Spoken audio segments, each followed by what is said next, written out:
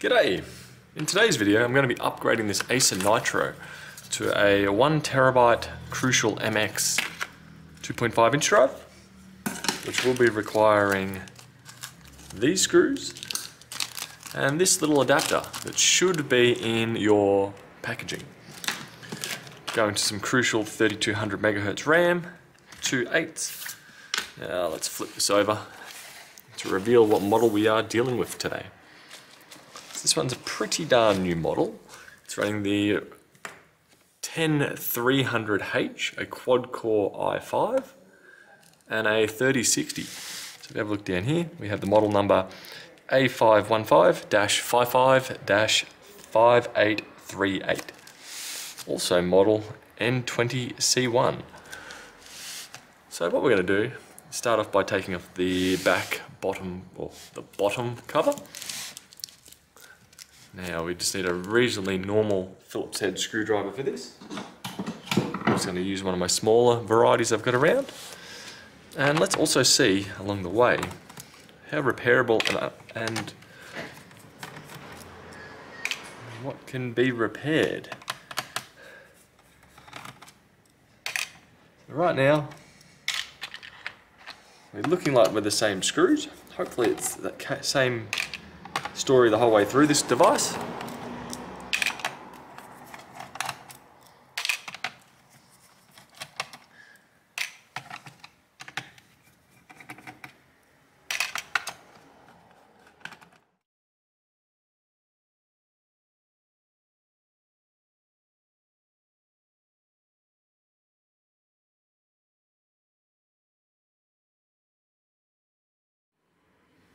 Now with all those screws taken out, I'm just going to probably pry from the front at this point.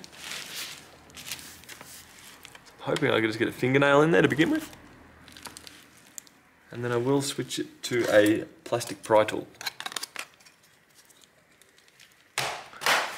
That's the noise we want to hear.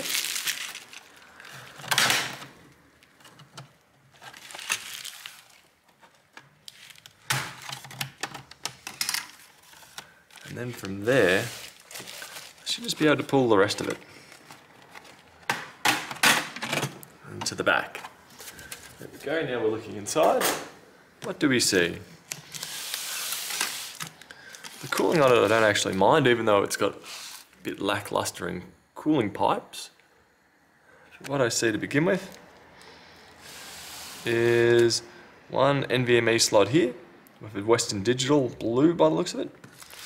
I know. SN530 wireless card here. Further down we have a hard drive which we'll be using. Uh, one slot stick of RAM. SK Hynix 8 gig 3200 megahertz. That I'll be swapping over for a match pair. Shouldn't really matter if you do put a different brand in there. Having a look over here, we do also have another NVMe slot. So they're pretty straightforward to replace. But to begin with, I'm just going to do the RAM, and I'll start with just by disconnecting the battery down here. So what I'm going to do is get two fingernails under each side and walk that battery connector backwards, like that. We're now disconnected. Next up is the RAM. So I'm going to pull that to the side, and that just lifts up. take that out. Grab my two new pair. Now I'm going to slide that in on a 45 degree angle and pull down. Do take note of the notch that's here. Like that.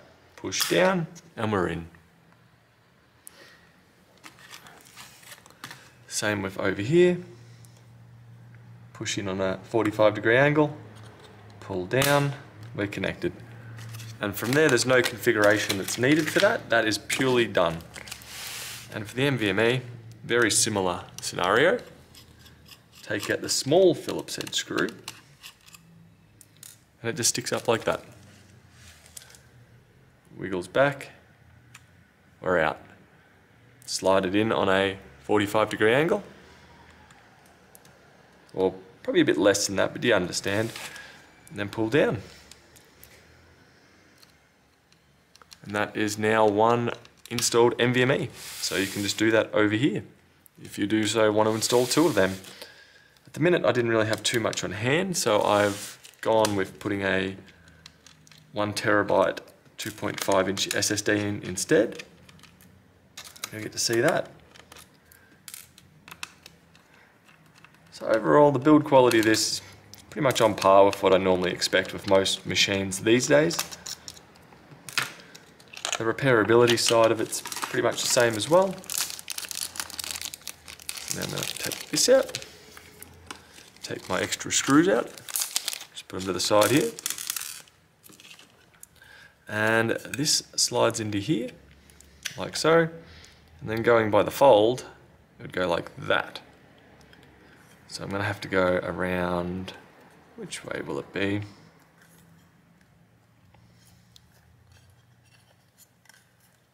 I think uh, this way to go into this connector down here. But to begin with, I'm going to screw this into position.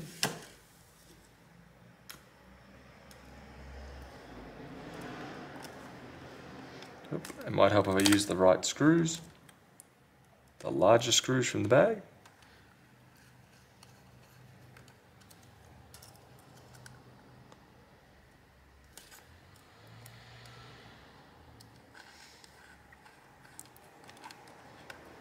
There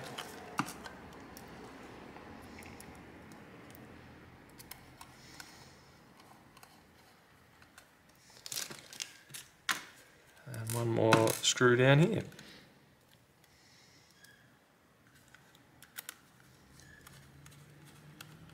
There we go.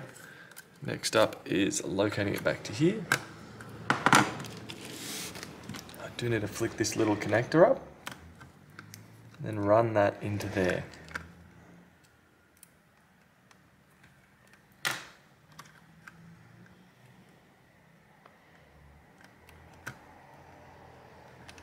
There we go. So we're now in place. This connector flips down and that is nearly installed. Need to put the, the mounting screws back in that hold the bracket into position. Then lastly after this we just have to reconnect the battery and seal it back up. And from there we'll be done.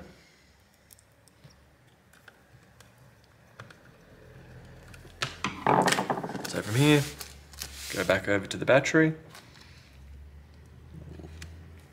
use a pair of tweezers to make this easier, as it is pretty tight in this area. There we go. And it just pushes forward, like so. So looking at it, what do we have here? We have a 57 watt hour battery. I do believe there'd probably be a, a larger battery available, which will run the full length without the drive tray over here. Also looking over here, we have a very large power jack.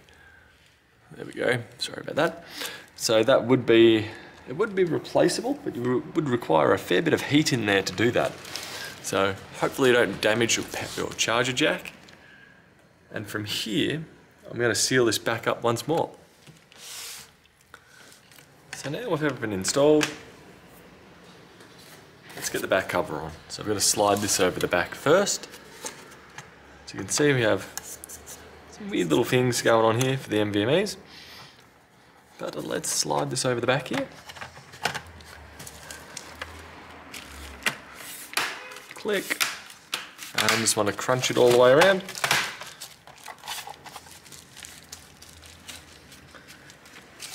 And next up, let's just put our screws back in. So from here, it's just a matter of putting all your Phillips head screws back in, and you should be mostly done. If you had added a hard drive in, you will have to go into disk management and format that drive to make it work. Otherwise, it won't really appear to be installed. And if you've added extra RAM, all you should have to really do from there is nothing. With RAM, all you should have to do is physically put it in. Once it's in put into the machine, the BIOS should automatically acknowledge it, and then Windows should automatically use it.